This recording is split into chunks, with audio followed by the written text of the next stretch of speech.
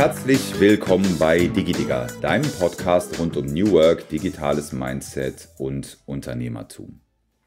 Heute ähm, haben wir, beziehungsweise habe ich äh, zu Gast den Daniel Bachmann. Der Tim hat heute Geburtstag. Dementsprechend, alle, die ihr das gerade hört, dürft ihr für den Tim heute ein Ständchen singen. Das ist aber der Grund, warum er nicht am Start ist äh, und ich das Vergnügen habe, Daniel, dich ähm, hier begrüßen zu dürfen. Zwei Sätze von meiner Seite. Daniel ist Co-Founder und CTO von Greevy. Wir haben uns auf einem Startup-Pitch kennengelernt und ich war total begeistert von äh, deinem Pitch und äh, irgendwie deiner slash eurer Story und äh, wollte deswegen super gerne, dass du in unsere Show kommst, damit wir darüber reden können und wir das noch mehr Leuten zugänglich machen können. Aber bevor es losgeht, ähm, die Eingangsfrage an dich, Daniel, sag doch mal, wer bist du und was machst du? Ja, sehr gerne. Erstmal äh, vielen Dank nochmal für die Einladung. Äh, auch von meiner Stelle alles Gute an, an Tim. Äh, Happy Birthday! ja. Aber soll natürlich auch seinen Geburtstag feiern können. Unbedingt. Ähm, ja, genau. Also wie gesagt, ich bin Daniel, ähm, Co-Founder von Greevy. Äh, ich bin CTO, das heißt, ich bin verantwortlich für das äh, Technische bei uns, ähm, habe die App programmiert und ja, das ist, was ich mache. Okay. Hm, erzähl uns doch mal, weil wahrscheinlich nicht alle Menschen direkt auf Anhieb schon wissen, was ist Greevy? Erzähl doch mal, was, was, was macht ihr? Was, was, was habt ihr für eine App? Was bietet ihr an? Worum geht's? Ja, sehr gerne. Ähm, genau, wir haben den ersten digitalen Trauerbegleiter entwickelt. Das heißt, äh, wie kann man sich das vorstellen? Wenn ich das erzähle, dann sagen die meisten Leute immer, okay, was, was bedeutet das? Äh, Verstehe ich nicht. Das ist quasi eine App, die man sich nach einem Todesfall von einer Person, also jemand im Umfeld, wie zum Beispiel Freunde oder Familie, runterladen kann. Und da wird man quasi in der Trauer unterstützt. Also man kann da, man hat zum Beispiel ein Trauerbegleitungstagebuch, wo man so seine Stimmung tracken kann man hat aber auch so verschiedene Kurse zu verschiedenen Themen und ähm, die helfen dann so ein bisschen, die Trauer zu verarbeiten. Genau. Okay, krass. Ähm, fand ich auch, als ich irgendwie deinen dein, dein Pitch gehört habe. Ich kann mich noch sehr gut an dein Intro erinnern. Da war erstmal, das war ja eigentlich so eine Veranstaltung, die sehr bunt und sehr laut und sehr, sehr äh, extrovertiert gewesen ist. Und dann fing dein Pitch an und da war wirklich der ganze Saal irgendwie erstmal mucksmäuschen still, weil gerade Tod und Trauer so aus meiner, aus meiner Wahrnehmung zumindest ja schon so ein Thema sind, das irgendwie in unseren Breitengraden hinter verschlossenen Türen passiert. Ne? Ähm, ja. wie, wie bist du, wie seid ihr denn auf die Idee überhaupt gekommen? Also erzähl doch mal vielleicht so ein bisschen was zu eurer Entstehensgeschichte, bitte. Ja, sehr gerne. Ähm, genau, also meine Mitgründerin Nele, ähm, also sie ist Psychologin und äh, inzwischen auch äh, Doktor, und ähm, sie hatte vor ein paar Jahren auch ihren Vater verloren plötzlich ähm, und hat sich dann auch ähm, ja, so ein bisschen nach dem Todesfall nach Hilfsangeboten umgeschaut, mhm. ähm, ist dann aber, ja, ich sag mal, auf nichts wirklich Zutreffendes gestoßen. Also die meisten Probleme, die es dazu gibt, ist, ähm, dass, es, dass man oft sehr lange Wartezeiten hat, dass es nicht flexibel ist, zeitlich und örtlich ähm, und dass es auch oft ziemlich religiös ist ähm, was mhm. gerade bei jungen Menschen ja heutzutage vielleicht nicht mehr so ganz passt. Mhm. Und sie hatte dann die Idee, okay, vielleicht kann man das Ganze in der App anbieten, weil sie auch selber Psychologin war. Ähm, genau. Und sie ist dann damals auf der Suche nach Programmierern gewesen, mhm. ähm, ist dann an einen Professor damals, äh, der bei mir ein Modul geleitet hat, ge ge gekommen. Und ja, dann haben wir so, so eine Art Projekt gehabt ähm, und dann hat die, ja, wurden wir quasi connected und dann hat sie mich nachher gefragt, ähm, ob, sie ich, äh, ob ich dann auch langfristig quasi nach dem Projekt weiter daran arbeiten möchte. Genau, und mein dritter oder mein zweiter Mitgründer, Enis, der, mit dem habe ich damals zusammen studiert, der war halt auch äh, in dem gleichen Projekt und dann haben wir quasi uns als Dreierteam zusammengefunden. Genau. Ah ja, okay. Du hast jetzt gesagt, äh, damals, ne, und natürlich schon, also weil es ja eure Geschichte ist, so in der Vergangenheitsform gesprochen. Ähm, gib uns doch mal so einen kurzen historischen Überblick. W wann ähm, wie, wie, hat sich das Unternehmen entwickelt? Wann habt ihr angefangen und was sind so, was sind so Milestones eurer Geschichte, damit wir auch irgendwie so einen, so einen zeitlichen Horizont und eine zeitliche Einordnung haben? Ja, um, ähm, das ist tatsächlich gar nicht so leicht zu sagen. Also irgendwie, ich komme immer so ein bisschen durcheinander. Kenne ich. Jetzt schon, äh, ja. schon, schon, schon eine ganze Weile her ist. Also dieses Projektseminar, das hat damals ähm, im Oktober angefangen Ähm, es müsste 2020 oder 2021 gewesen sein. Ähm, mhm. Genau, das ging dann ein halbes Jahr und danach haben wir halt erstmal quasi nebenbei weitergemacht mit Revi. Mhm. Ähm, das war dann bei mir neben, neben dem Studium und bei Inis ähm, und bei Nele war es ähm, während ihres Doktors quasi. Mhm. Genau, das haben wir dann einfach so nebenbei gemacht, was natürlich super anstrengend war, super zeitintensiv. Ähm, und dann haben wir aber gesagt, so, ähm, ja, dann ist dann glücklicherweise relativ gut zusammengefallen, dass Neles Doktor und mein Bachelor ungefähr gleichzeitig geendet haben. Und dann haben wir gesagt, okay, aber jetzt mal Vollzeit. Und ähm, das ist jetzt seit ähm, ja, ungefähr September letzten Jahres. Ähm, haben wir dann gesagt, wir machen Vollzeit und ähm, ja, seitdem haben wir auch unser eigenes Büro. Ähm, bin jetzt gerade sogar im Umzug des Büros, also das ist gerade auch wieder eine aufregende Zeit auf jeden Fall. Aha. Genau, was vielleicht noch so eigentlich der größte Meilenstein war, würde ich sagen, ist natürlich der, der App-Launch, also auch wirklich der richtige Release auf den äh, App Store. Das war jetzt ungefähr vor knapp zwei Monaten. Genau. Weißt du, äh, das ist so der, der Zeitplan. Eine ganz interessante Side-Story sozusagen. Ne? Also ich habe äh, bei, bei uns im Team auch irgendwie darüber gesprochen ne? und habe so äh, ganz aufgeregt erzählt, dass wir einen Podcast zusammen machen, weil ich, weil ich halt irgendwie eure App total cool finde. Und eine Kollegin hat gesagt, dass sie so in der Beta-Phase Testerin bei euch gewesen ist, ja. weil sie einen Trauerfall zu bewältigen hatte äh, und hat dann direkt erzählt, kenne ich. Ne? Und ich so, ach krass, okay. Äh, ja, das war, so, so, fließen, so fließen die Dinge dann wieder zusammen.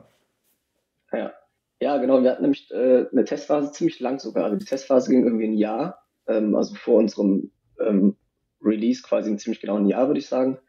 Und äh, das war natürlich, ist natürlich ziemlich lang für eine Testphase, aber uns war es halt sehr wichtig, dass irgendwie alles stimmt, wenn wir auf den Markt gehen, mhm. weil es halt so ein sensibles Thema ist irgendwie. Also wir haben echt viel noch verändert während der Testphase, haben viel gelernt und dann auch noch einiges angepasst. Ähm, ja, und es waren halt insgesamt über 500 Trauende, die wir allein in der Testphase schon hatten.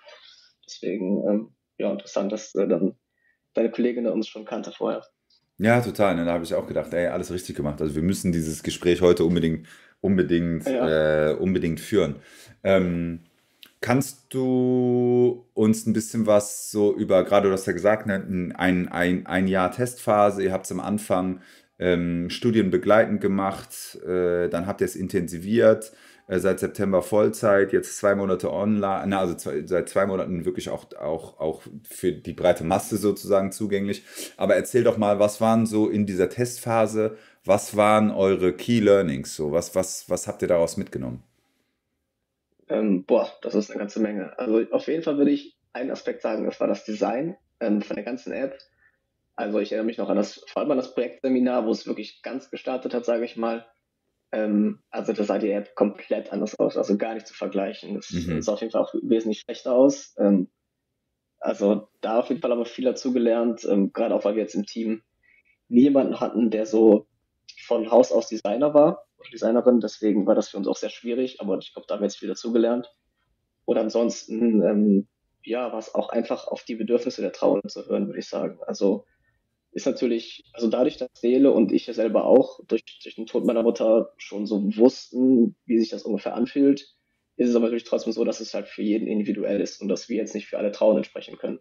Mm. Und deswegen haben wir auch in während der Testphase auf jeden Fall gelernt, dass es halt, dass viele Leute Bedürfnisse haben, die wir beide jetzt vielleicht gar nicht so, so gehabt haben. Und deswegen war es da für uns auch sehr hilfreich, mal die Bedürfnisse der anderen zu hören. Ja. Mhm. Was würdest du sagen, sind denn Bedürfnisse von Trauernden? Weil ich finde wirklich, ne, so Trauer ist ja echt was, was eigentlich ja nicht so öffentlich stattfindet. Ne? Also was, was, ja, was sind aus eurer? Ja, total. Ne? Also deswegen finde ich, deswegen fand ich es umso wichtiger, auch dich einzuladen ne? und mit dir heute drüber zu sprechen, weil auch Tod gehört ja genauso zum Leben dazu wie, wie Geburt. Ne? Also es wird uns alle ja, äh, genau. zwangsläufig treffen, ne? in, in, in, den unterschiedlichsten Konstellationen. So. Und deswegen lass uns doch mal drüber reden. Was, was, was sind denn Bedürfnisse von Trauernden? Ja, also das ist, das ist auch total individuell und sehr unterschiedlich. Also viele wollen einfach ähm, an die Hand genommen werden, sage ich mal. Also auch teilweise vielleicht tröstende Worte und, und sowas, was in die Richtung geht. Viele wollen sich aber auch wirklich damit auseinandersetzen, also wirklich ähm, was ja auch bei uns in den, in den Kursen so, so da, das, das, ja, sag ich mal, das Hauptziel ist, zu wissen, okay, warum fühle ich mich gerade, wie ich mich so fühle? Warum bin ich jetzt vielleicht sogar wütend oder was steckt hinter bestimmten Gedanken, die ich habe? Zum Beispiel ein gutes Beispiel ist, ähm, es gibt ja diese verbotenen Gedanken, die man dann hat. Also jetzt ähm, zum Beispiel, wie es bei meiner Mutter war, nach einer längeren Krankheitsgeschichte, wenn jemand verstirbt, dass man dann denkt, okay, jetzt ist es endlich vorbei, es ist jetzt vielleicht sogar gut, dass die Person von dem Leiden erlöst wurde. Mhm. Da fühlen sich viele Leute halt schuldig, weil die denken, okay, jetzt freue ich mich, dass, oder was heißt, freuen mhm. ist falsch Wort, aber jetzt bin ich erleichtert, vielleicht sogar, dass eine Person verstorben ist. Ähm, und da ist es vielleicht auch für viele Trauernde einfach wichtig, dann zu hören, dass es erstens normal ist und dass es den allermeisten so geht. Und ähm, ja, das ist so ein gutes Beispiel für ein Bedürfnis. Mhm.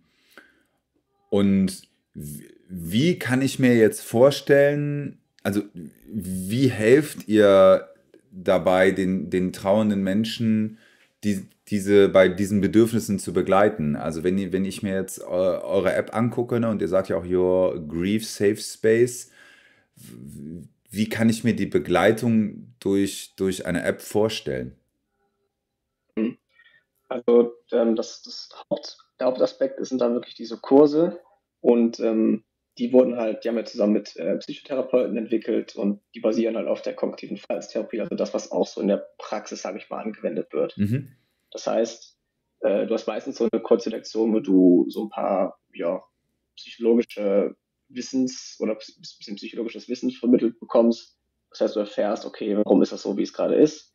Ähm, und dann hast du meistens ähm, so, so Aufgaben, interaktive Aufgaben, wo du dich dann aktiv mit der Trauer auseinandersetzt. Das sind dann Multiple-Choice-Aufgaben, ähm, Audiodateien, was dann so eine Richtung von einer geführten, ja, man kann fast schon sagen, Meditation mhm. geht mhm. ähm, oder so eine Aufgabenführung. Ähm, ganz unterschiedliches, äh, also so Aufgaben, die man quasi bekommt, um sich dann, oder auch so Schreibaufgaben, ähm, um sich dann quasi damit auseinanderzusetzen. Und das geht dann zu verschiedenen Themen. Äh, alle Gefühle werden abgedeckt, äh, verbotene Gedanken, Grübeleien, ähm, aber auch Verhaltensmuster, die man sich vielleicht aufgebaut hat ähm, durch die Trauer. Ähm, ja, das sind so die, die hauptsächlichen Aspekte. Mhm. Was können denn so Verhaltensmuster sein, die ich mir durch Trauer aufbaue? Ähm, ein gutes Beispiel ähm, ist zum Beispiel das äh, Verwenden von, von Alkohol oder, oder anderen Substanzen, um mhm. sich irgendwie abzulenken. Mhm. Ähm, das betrifft auch mehr Leute, als man vielleicht meint. Mhm. Ähm, gerade weil es halt kurzfristig, wenn man sich dann vielleicht etwas besser fühlt, erleichtert fühlt. Ähm, und wir zeigen dann zum Beispiel in unserer App auf, okay, kurzfristig fühlt man sich besser, aber langfristig macht es halt einfach alles wesentlich schlimmer, sage ich mal. Mhm. Ähm, ja, das heißt, äh, das ist, so, das ist so ein klassisches Verhaltensmuster, was viele Leute haben. Ja, voll, ne? Flucht. Oder ein anderes, anderes Beispiel, genau, oder ein anderes Beispiel ist, äh, dass man so in so einem Sog des Nichtstuns gerät irgendwie, dass man so ins, ähm, verständlicherweise auch irgendwie sich ins, ins, Bett legt und einfach nichts mehr machen will, dass man zu Hause bleiben will, dass man ähm, für sich alleine sein will. Ähm, genau, und dass es sicherlich auch manchmal nötig ist, mhm. für sich zu sein und Ruhe zu haben, aber dass man halt auch darauf achten muss, trotzdem noch aus dieser Komfortzone rauszugehen und, und Sachen zu erleben. Mhm. Ja, und es gibt, also ich habe auch schon ein paar Mal beobachtet, so das, das, das Gegenteil dazu, ne? also dass irgendwie so Verdrängung und Flucht dann auch, weiß ich nicht, Flucht in Arbeit zum Beispiel sein kann. Ne? Also das irgendwie ja, so, so total zu verdrängen und eben gar keine, gar keine freie Minute sich zu gönnen, in, in, in der ich die Trauer überhaupt wirklich mal zulassen und verarbeiten kann, sondern mich halt dann mit Arbeit zuhäufe, damit ich das nicht fühlen brauche. Ne? So das, was der eine, genau wie du beschreibst, ne? die eine Person macht es vielleicht durch Alkohol, die nächste durch äh, nichts mehr tun, essen, schlafen, nicht schlafen, nichts mehr essen, zu viel essen, genau. ja. äh, zu viel arbeiten, zu wenig arbeiten. Ja. Das kann alles sein und in alle Richtungen. Ja. ja. Total. Und ich meine, ne, wenn, wenn, wenn ihr dann ein, ein, ein Angebot schafft, das, das, mich, äh, das mich sozusagen erstmal äh, digital und flexibel begleitet ähm, und mich vielleicht auch schon mal ins Fühlen bringt ähm, und ein, so diesen, diesen Akzept, mein Akzeptanzlevel der Situation, in der ich mich gerade befinde, ne? also diesen Verlust überhaupt erstmal anzuerkennen, ähm, dann ist es ja schon ein Riesenschritt. Genau. Ja, es ist halt genau diese, diese Hemmschwelle, die so eine App hat, die bei einer App halt ziemlich gering ist. Gerade wenn man das vielleicht vergleicht mit einem Therapeuten oder einem Seelsorger oder sonst irgendwas. Mhm. Sich eine App runterzuladen, ist halt erstmal ein, ein verhältnismäßig einfacher Schritt, äh, wo man dann auch, auch bei uns die erste Hilfe bekommt, sag ich mal, und sich auch der Trauer auseinandersetzen kann. Ähm, uns ist natürlich auch bewusst, dass es so eine persönliche Begleitung wie ein Therapeut nicht ersetzen kann. Mhm. Ähm, aber es bringt halt diesen, diesen Erstkontakt erstmal mit dem Thema. Und langfristig wollen wir dann auch in der App ähm, den persönlichen Kontakt anbieten. Also dass man quasi in der App sich direkt äh, Trauerbegleiter und Seelsorger und Therapeuten buchen kann, sage ich mal, und dann ein Treffen mit denen hat oder direkt vereinbart. Ah ja, das, wär, das wäre natürlich optimal, ne? weil auch das ist ja äh, schon eine ganz schöne Herausforderung in unserem System. Ne? überhaupt jemanden, also wenn, wenn ich den Schritt gegangen bin, dass ich bereit bin, nach Hilfe zu fragen, diese dann überhaupt zu finden. Ne? Auch wie, wie du eingangs ja schon gesagt hast, mit, mit entsprechenden Kapazitäten, der oder die mir jetzt überhaupt helfen kann. So, das ist ja, genau. das ist ja gar nicht so einfach. Ja, ja, das ist ein Riesenproblem. Also ja, die mhm. Kapazitäten sind einfach nicht da, wie sie da sein sollten oder müssten. Und ähm, ja, da ist halt auch so eine App erstmal der Erstkontakt, aber auch sicherlich dann, wenn es in den ersten Monaten dann soweit ist, äh, muss ich auch Leute direkt buchen zu können, dass es einfach auch leichter wird, jemanden zu finden, der ihnen helfen kann. Ja, ja, total. Also da, da leistet ihr, leistet ihr mit eurer Arbeit ja auch echt wirklich einen sehr krassen und, und, und wichtigen Dienst. So, ne? Und auch, auch das, das Thema überhaupt äh, nochmal zu bespre besprechbar zu machen ne? und, und, äh, und erfühlbar, erfühlbar zu machen. Hm. Nun ist es ich aber eine. Tatsächlich, ja? Ja, ich habe tatsächlich, äh, also was wir auch noch erreichen wollen, wo ich jetzt auch eine Frage an dich hätte, tatsächlich.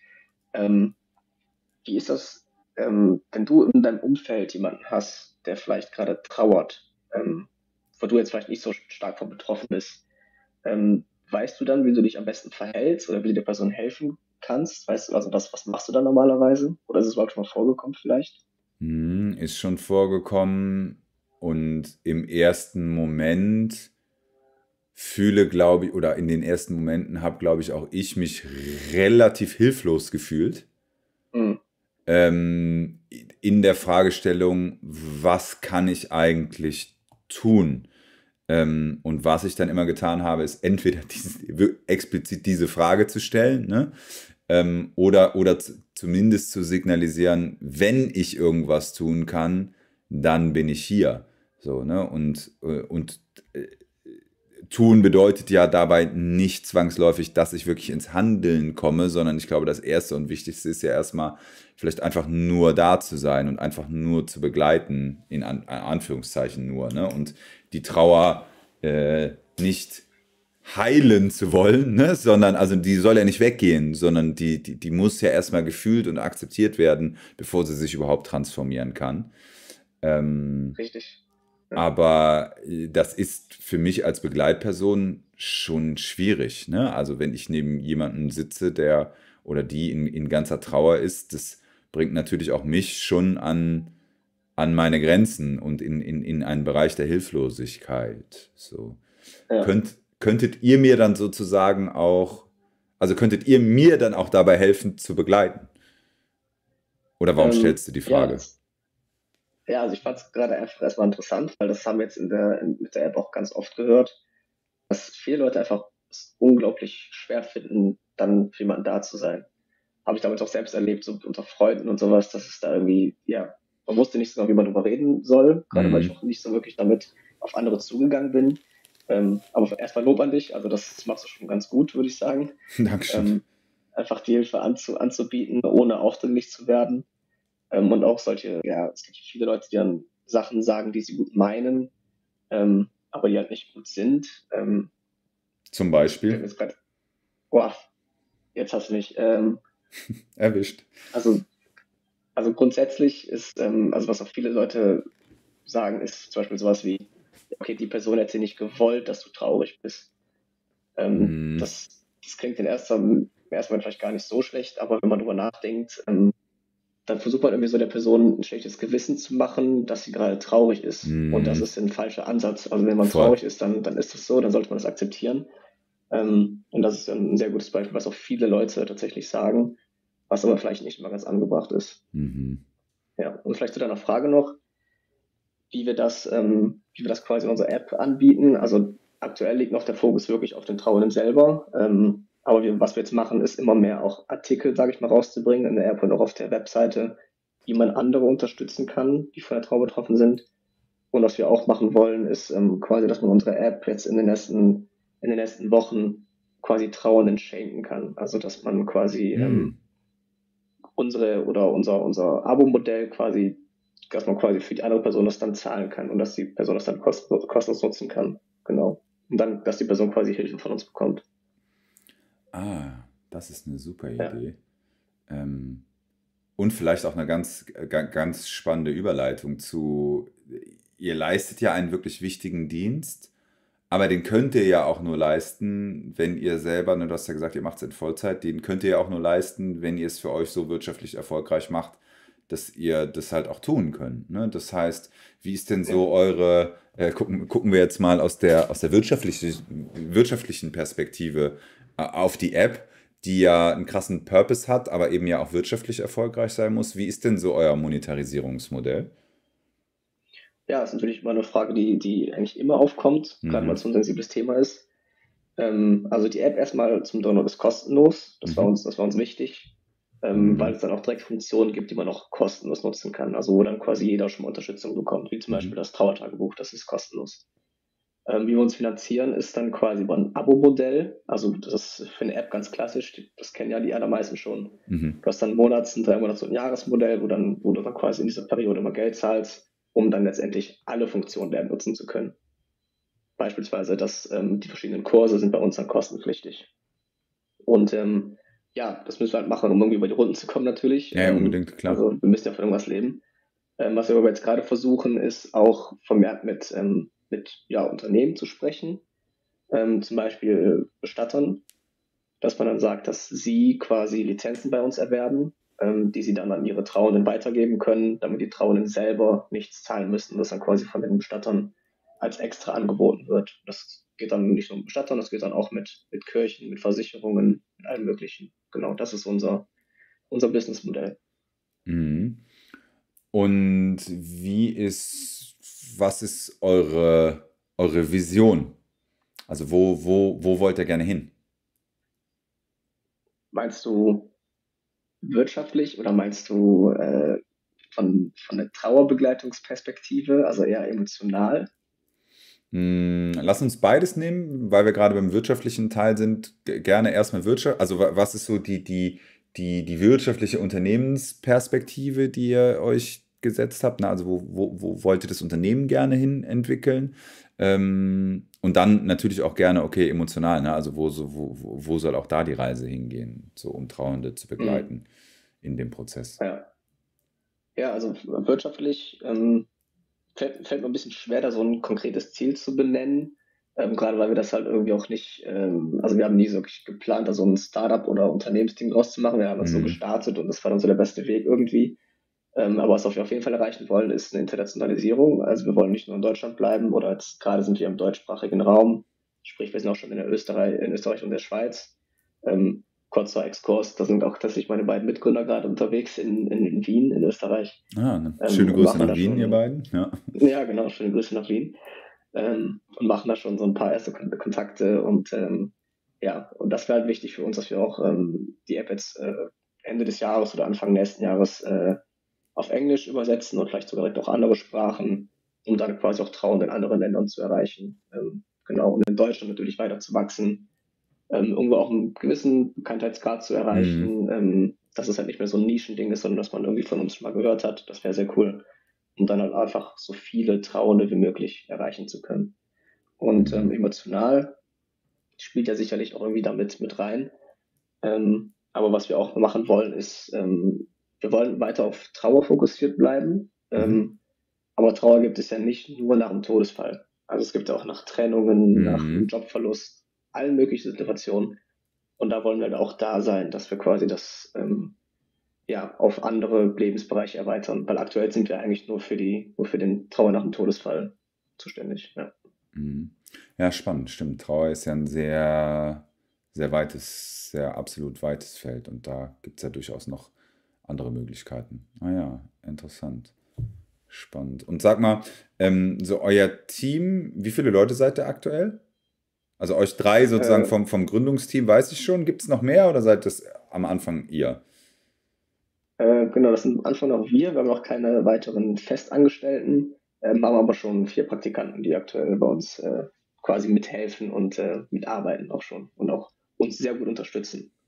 Hervorragend, ja. ja. Ne, so, so, so startet man dann ja auch. Ne? Und alleine, wenn ihr drei schon mal ne, aus dem Studium heraus oder ne, aus der Doktorarbeiten das weiterentwickelt habt, ist doch schon mal äh, richtig, richtig, richtig cool. Ich finde auch, ne, mir das so anzugucken, wenn ich durch eure Seite durchscrolle, ähm, sieht mega gut aus und ja, was für ein, was für ein immens wichtiges Thema das eigentlich ist. Ähm, eine Frage, die, die, die ich gerne immer so im, im Gründungsumfeld äh, stelle, ne, oder zwei eigentlich. Die erste ist, was war denn bis jetzt so der, der größte Fuck-up? Irgendwas, was hm, richtig ähm, schief gegangen ist, wo du denkst, oh nein, fuck, das wäre besser nicht passiert. es gibt bestimmt irgendein konkretes, eine konkrete Sache, die mir jetzt gerade nicht einfallen will. Aber was auf jeden Fall ein Fuck-up-Learning ist, ähm, dass wir so ein bisschen overengineert haben, würde ich sagen. Ähm, okay. Also ein bisschen, wir wollten, wir wollten das perfekte Produkt entwickeln, um mal die perfekte Traubegleitung anbieten zu können. Ähm, und ich glaube, dieser Ansatz, die meisten Startups machen, so einfach mal raus auf den Markt. Das wäre bei uns auch gar nicht gegangen. Also sage ich mal, einfach direkt irgendwas raus, was noch nicht so wirklich funktioniert, weil es halt so ein sensibles Thema ist. Mhm. Aber vielleicht irgendwie ein Mittelding dazwischen wäre doch ganz gut gewesen. Ähm, ja, weil wir dann halt doch echt auch lang gebraucht haben, auf den Markt zu kommen. Ähm, aber andererseits, jetzt sind wir da und es, es, es, läuft gut. Deswegen ist es vielleicht gar nicht so ein, so ein großer Fuck-up, wie man meinen sollte. Mhm. Ähm, ja, aber das wäre so das, das, was mich ab und zu mal, mal stört. Gerade auch dadurch, dass wir also viel ähm, immer gemacht haben, und dann gemerkt haben, es passt vielleicht doch nicht ganz so in der, in der Testphase dann, äh, dass man dann irgendwie noch vieles macht, was man danach wieder verwirft und das dann im Nachhinein irgendwie, ich sag mal, umsonst, also umsonst erscheint, aber was im Endeffekt dann, äh, ja, was auch dazu gehört, weil man halt dazu gelernt hat. Mhm. Ja, total. Und kannst du so aus, aus, aus deiner persönlichen Gründungsgeschichte, ähm, wir haben ja auch immer wieder Leute, die, die zuhören, weil sie gerade überlegen zu gründen zum Beispiel, ne? oder, oder weil sie mhm. gerade sich in, in den ersten Zügen von Gründung befinden. Kannst du so aus deiner Historie jetzt, was, was würdest du sagen, sind so die ein, zwei Sachen, die du anderen Gründungsteams gerne mitgeben würdest? Puh, also was ich immer ganz wichtig finde, ähm, was wir jetzt, was uns vor allem auch seit wir Vollzeit arbeiten und auch ein Büro haben und einen Coworking Space, wo wir mit anderen Startups zusammensitzen, ist, dass man sich erstmal mit anderen Startups austauscht. Also das hat uns so unglaublich viel geholfen. Das, äh, es gibt ja diese ganzen Programme, wo wir auch drin sind, ähm, mhm. wo es dann Workshops gibt und, und alles, alles Mögliche. Auch super hilfreich, keine Frage. Ähm, aber das Netzwerken wirklich, vor allem mit anderen Startups, ähm, hat uns persönlich, glaube ich, am meisten geholfen, um einfach aus den Fehlern anderer zu lernen, um, um Tick, äh, Tipps und Tricks irgendwie abzu, abzugreifen ähm, und dann halt auch gegenseitig sich zu helfen. Also jedes Problem, vor dem man vielleicht gerade steht, hatte irgendein anderes Startup auf jeden Fall garantiert auch schon mal. Und ähm, mhm. wenn man da ein entsprechend großes Netzwerk hat, dann, dann findet man immer irgendjemanden, der einem helfen kann. Das wäre so mein, mein Tipp Nummer eins. Mega. Vielen Dank. Hm. Ich würde damit jetzt auch so langsam schon mal auf die Zielgerade abbiegen. Ähm, und finde, wir haben ein mega interessantes Gespräch bis hierhin geführt. Ne? Danke, dass du uns sozusagen ja. zum Anfang erstmal in die Entstehungsgeschichte mitgenommen hast. Ähm, ne, dass du äh, erzählt hast, wie ihr, wie ihr angefangen habt, wie ihr es aus dem Projekt heraus entwickelt habt, dann seit September Vollzeit arbeitet, vor zwei Monaten gelauncht habt und eben gerade so dieses Thema Trauer und Trauerbegleitung aus eurer eigenen Historie herauskommt und jetzt ja ihr einfach eine super purpose-getriebene äh, App habt, die ihr dabei seid zu monetarisieren. Wir haben darüber gesprochen, ähm, fand ich eine mega tolle Frage, die du mir auch gestellt hast, ähm, dass ihr nicht in Anführungszeichen nur die Trauernden selber begleitet, sondern auch Menschen in ihrem Umfeld dabei helft, durch die Trauer zu begleiten. Und wir haben auch mal nach, nach vorne geguckt, ne, gesagt, okay, Internationalisierung, weil auch da Trauer ist international und eine ja uns alle verbindende Sprache des Herzens. Ne, und, ja, ähm, schön ausgedrückt. Und, und vor allen Dingen ist Trauer auch nicht nur auf Todesfälle, ne, sondern auch irgendwie äh, Liebeskummer, an, andere Schicksalsschläge. So, und auch da ähm, gibt es natürlich noch Potenzial, Menschen irgendwie zu helfen. Finde ich, find ich total spannend. Also vielen Dank, dass ja. ihr euch dieser, dieser krassen Thematik angenommen habt. Ja, vielen Dank für deine, für deine Einladung auf jeden Fall. Das war mein, mein erster Podcast. Ähm, ich fand es auf jeden Fall sehr cool. Cool. Ja, ich auch. Also, liebe Leute da draußen, wenn ihr das hört, wisst ihr jetzt, wenn ihr selber trauert oder wenn ihr Trauernde in eurem Umfeld habt, mit der App Greevy könnt ihr erste Hilfe zumindest leisten. Ne? Wir haben auch gehört, was ich auch wichtig finde, eine gute Einschätzung, ne, dass du gesagt hast, es ersetzt nicht ähm, eine psychologische Begleitung, aber es ist zumindest schon mal ein, ein, ein, ein erster mega wichtiger Schritt, der vielleicht auch Hindernisse und Hürden abbaut und äh, dadurch dann langfristig auch nochmal auf ein Netzwerk äh, von, von persönlicher Begleitung bietet. Ne? Also wenn ihr das hört, ihr könnt äh, jederzeit darauf zugreifen, guckt in den Show Notes, da findet ihr alle Links, die ihr ähm, dazu braucht. Daniel, ich danke dir ganz herzlich für äh, diesen Input zu dem Thema. Und ich danke dir da draußen, der du unseren Podcast gerade hörst dass du bis hierhin zugehört hast, weil nur für dich machen wir das Ganze, um spannende Themen von Unternehmerinnen und Unternehmern äh, rauszubringen, von denen wir alle profitieren können. Wir würden uns sehr freuen, wenn du, wo auch immer du diesen Podcast hörst, uns eine positive Bewertung dalässt, wenn du ihn teilst. In diesem Fall natürlich besonders mit Menschen, die gerade ähm, mit Trauer zu kämpfen haben. Das letzte Wort, lieber Daniel, wenn du möchtest, überlasse ich dir und sag äh, in diesem Sinne schon mal Ciao und vielen Dank. Ja, danke auch nochmal äh, erstmal an dich. Äh, vielen Dank, dass du mich eingeladen hast, aber auch an alle Zuhörer. Und äh, wenn ihr Fragen habt oder irgendwas unklar ist, ähm, meldet euch gerne, schaut auf unserer Webseite vorbei. Ähm, alle möglichen Social Media Kanäle, Instagram und Co. Und ähm, ja, vielen Dank fürs Zuhören. Danke. Ciao.